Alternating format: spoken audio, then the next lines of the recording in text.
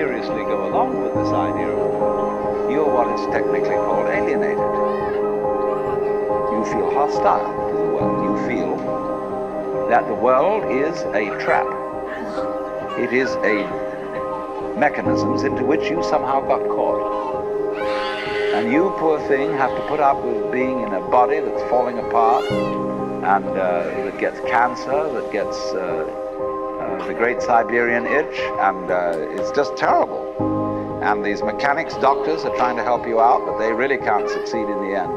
And you're just going to fall apart, and it's a grim business, and it's too bad.